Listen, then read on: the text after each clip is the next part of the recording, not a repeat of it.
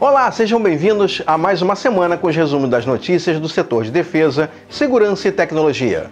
Aqui você é o nosso convidado para participar. Comente, deixe seu comentário e sugestões. Nessa edição teremos informações com a nossa agenda de eventos, óculos de visão noturna para a Polícia de Fronteira, a AMAN com manobrão escolar e o Aspirantado 2021. Também teremos o Guarani número 500 para o Exército Brasileiro. E também cresce a procura de produtos táticos profissionais para grupos civis. Estas e outras informações você encontra aqui. Eu sou Luiz Camões e está começando o informativo Defesa News.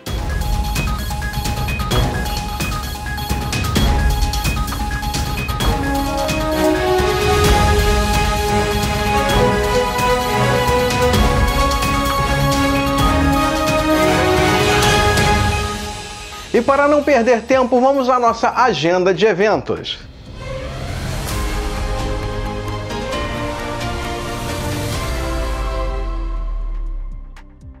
E a Mostra BID Brasil é um dos mais importantes eventos do segmento e tem como objetivo valorizar a base industrial de defesa e segurança, divulgando produtos, serviços e inovações dentro e fora do país.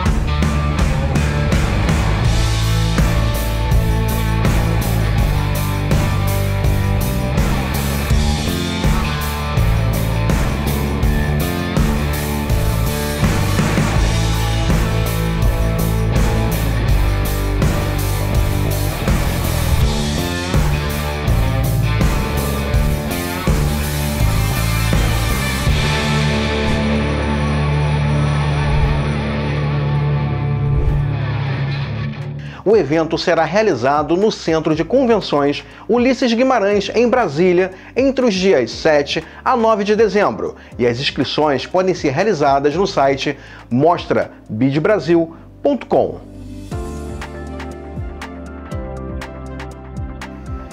E entre os dias 6 e 16 de dezembro, teremos um exercício combinado entre o Exército Brasileiro e o Exército dos Estados Unidos no eixo Rio-São Paulo.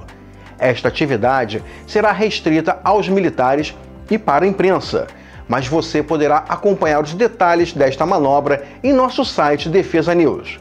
Para os militares envolvidos nesta operação, será uma experiência fantástica. Estas manobras combinadas são fundamentais para a troca de informações e aprendizado. E o Centro de Instrução Especializada e Pesquisa Policial realizará entre os dias 6 a 10 de dezembro o primeiro webinário de segurança pública e ciências policiais. O Centro de Instrução convida a todos a participarem. O evento receberá diversos especialistas e você poderá participar de uma maneira bem fácil ele será transmitido pelo Instagram na página oficial do Centro de Instrução Especializada e Pesquisa Policial da Polícia Militar do Estado do Rio de Janeiro. Para acessar o perfil, basta buscar no Instagram a página do CIESPP.PMERJ. O link para facilitar a sua busca está aqui na descrição do nosso vídeo no YouTube. Lembrando que em nosso site, no link Eventos, temos todas as informações das feiras, eventos e editais. Acesse defesanews.com.br. E se a sua empresa ou unidade militar está com uma programação e gostaria de divulgá-la, entre em contato conosco, mande seu evento para o nosso e-mail contato@defesanews.com.br.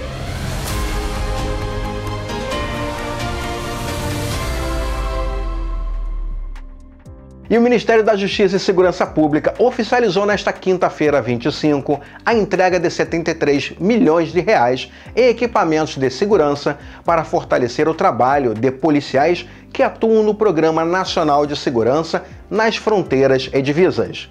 Equipamentos como óculos de visão noturna, coletes balísticos, viaturas e binóculos termais serão distribuídos entre policiais civis, militares e federais presentes nas regiões de divisa e fronteiras e vão contribuir com a atuação mais eficiente de agentes do programa Vigia. Vamos ver o vídeo e entender um pouco mais sobre essa atuação. Enfrentar a criminalidade nas fronteiras e nas divisas do país é um desafio que exige vigilância, integração, governança, interoperabilidade e autonomia.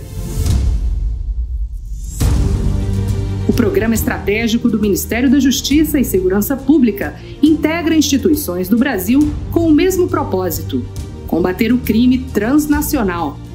Em dois anos de atuação integrada no país, o Vigia ganhou capilaridade e cresceu, Hoje está presente em toda a faixa de fronteira do Brasil e em inúmeras áreas de divisas, totalizando 15 estados. Querência do Norte, no Paraná, recebeu uma das primeiras bases do programa Vigia, e a cidade que antes estava amedrontada pelos altos índices de criminalidade, hoje tem motivos para comemorar. E por ser a nossa região uma região de fronteira, nós vivíamos uma situação muito difícil com relação ao assassinato, a roubo, a contrabando. Nós estávamos vivendo momentos de terror, momentos de muita preocupação. Fomos perdendo os nossos turistas, fomos perdendo a confiança dos municípios vizinhos. Éramos vistos como uma cidade marginalizada, só de ondas de violência. A vida aqui em Querência é outra depois que o policiamento chegou. Eu tenho um comércio aqui já faz uns 15 anos e pela primeira vez eu vejo que a cidade está bem segura no quesito de criminalidade. Com a instalação da base do Vigia aqui em nosso município, nós conseguimos ver a luz no fundo do túnel, tudo voltando a clarear. Luz refletida nos resultados desse trabalho conjunto e integrado. Em dois anos no Brasil, foram quase 3 bilhões de reais de prejuízo ao crime organizado, com a apreensão de drogas, cigarros, embarcações e outros produtos oriundos do contrabando. Foram investidos cerca de 130 milhões de reais em aquisições de equipamentos de alta tecnologia para dar suporte às equipes em campo. Quase 2 mil agentes foram treinados, um investimento de mais de 1 milhão e 300 mil reais em capacitações.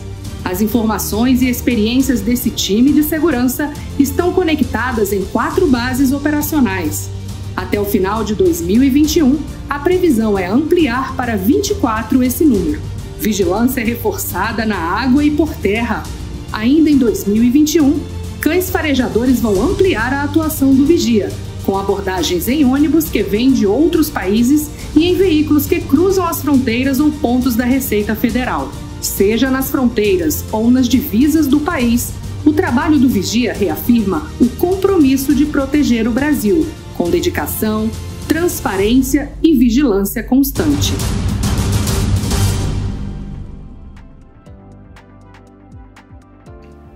E o Exército Brasileiro recebeu a viatura blindada de transportes de pessoal, o Guarani, de número 500, em uma solenidade realizada na sede da Iveco Veículos de Defesa em Sete Lagoas, Minas Gerais. O comandante do Exército, General de Exército Paulo Sérgio Nogueira de Oliveira, participou do evento acompanhado de outros oficiais generais do alto comando do Exército.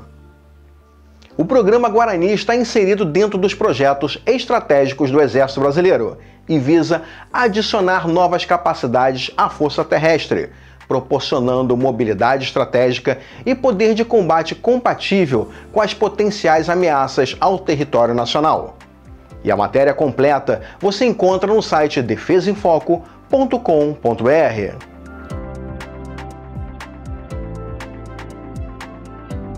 E a Academia Militar das Agulhas Negras, a AMAN, realizou entre os dias 4 e 12 de novembro a tradicional Manobra Escolar 2021, que reuniu homens e mulheres de diversos estabelecimentos de ensino do Exército.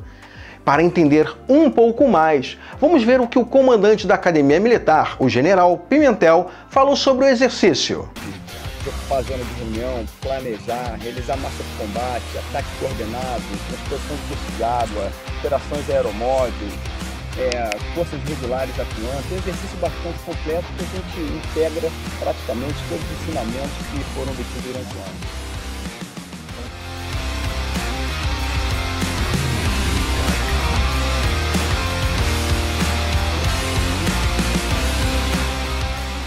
E o link do vídeo deste exercício completo encontra-se na nossa descrição. Ah, e não esqueça de assinar o canal Defesa News. Militares da área de saúde recebem treinamento para atuar em zonas de confronto no padrão das organizações das Nações Unidas. O nono Grupamento Logístico, por intermédio do núcleo do nono Batalhão de Saúde, realizou um treinamento de atendimento pré-hospitalar tático para 28 médicos, enfermeiros e técnicos de enfermagem das organizações militares do Comando Militar do Oeste. A atividade ocorreu como parte da Operação Santa Bárbara do Oeste no período de 15 a 19 de novembro e tem como objetivo alinhar as técnicas com o formato recomendado pela ONU em relação às tropas de saúde.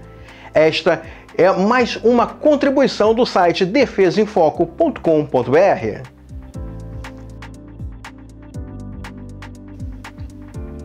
e cada vez mais civis estão buscando e adquirindo produtos táticos profissionais de alta resistência.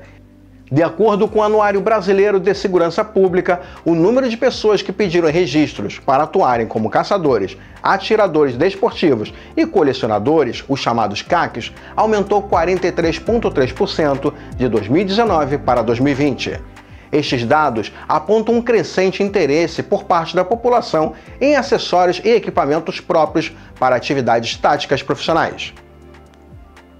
E um grande exemplo deste crescimento e sucesso na produção e comercialização de produtos táticos é a empresa brasileira Invictus, que está estabelecida em Santa Catarina praticantes de trilhas curtas e de longas distâncias, além de competidores da modalidade de airsoft, são um dos diversos e crescentes grupos que buscam qualidade, durabilidade em seus materiais, sem perder a mobilidade de suas atividades.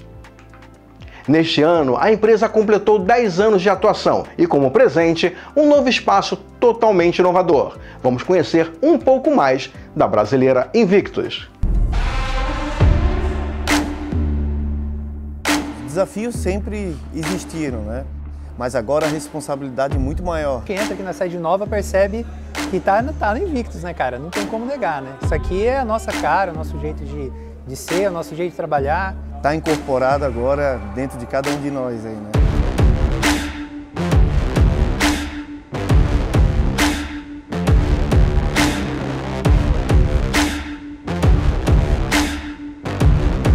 Ah, tudo bem que vocês vieram até aqui, vocês fizeram boas coisas no passado e isso fez com que a gente pudesse construir esse espaço, mas daqui para frente o jogo é outro.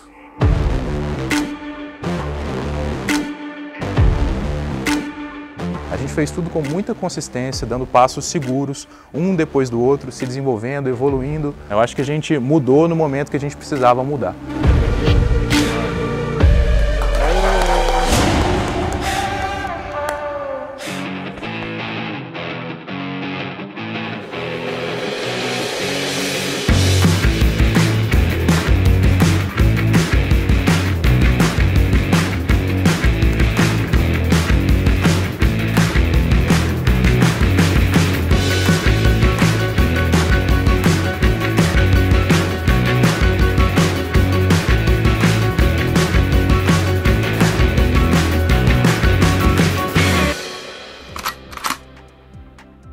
Deseja conhecer a matéria completa e a crescente busca por produtos táticos? Você encontrará no site defesaemfoco.com.br. E a Companhia Brasileira de Cartuchos, a CBC, lança a série especial limitada e comemorativa aos seus 95 anos. Para celebrar, a CBC apresenta aos amantes das armas dois lançamentos em uma edição especial comemorativa a Pamper Militare 3.0, com uma pintura exclusiva, e a carabina Puma, com um trabalho de acabamento artesanal de muito bom gosto. Os produtos comemorativos contam também com um kit especial, contendo uma case exclusiva em couro legítimo e itens personalizados da CBC, como uma camisa, um pin e um boné da marca. Os produtos da edição especial comemorativa 95 anos serão comercializados nas principais lojas revendedoras da CBC. Para saber um pouco mais sobre esse assunto, acesse defesaemfoco.com.br. E a Academia Militar das Agulhas Negras, a AMAN, realizou neste sábado 27 em Resende, no estado do Rio de Janeiro, a cerimônia do Aspirantado 2021. Em 210 anos de história, a bicentenária academia foi a primeira vez que a instituição formou um grupo misto. A turma Dona Rosa da Fonseca tem 391 cadetes, sendo 368 homens e 23 mulheres. A turma leva o nome da precursora Dona Rosa da Fonseca, que é patrono da família militar. A cerimônia contou com a presença do presidente da República, Jair Messias Bolsonaro, e do seu vice-presidente, Antônio Hamilton Martins Mourão, além de ministros de estados e autoridades civis e militares. Parabéns aos novos oficiais do nosso Exército Brasileiro. Quero parabenizar também a Academia Militar das Agulhas Negras e ao próprio Exército por mais uma turma de profissionais à disposição do nosso país.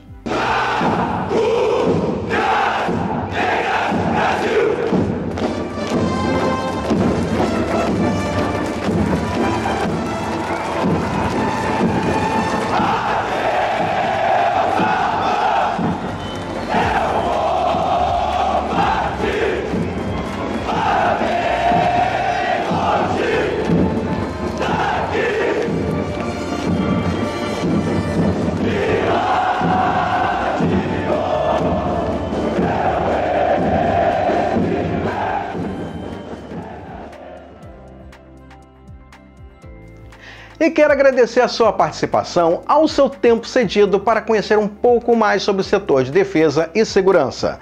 Comente sobre esse informativo, o que achou, deixe sua sugestão nos comentários. E você que deseja enviar o seu evento, coloque tudo sobre ele, inclusive imagem de divulgação, e envie para o nosso e-mail redação@defesanews.com.br. Divulgue, compartilhe. Vamos levar informação para quem gosta e para quem precisa. Te espero no próximo programa e novamente, até lá!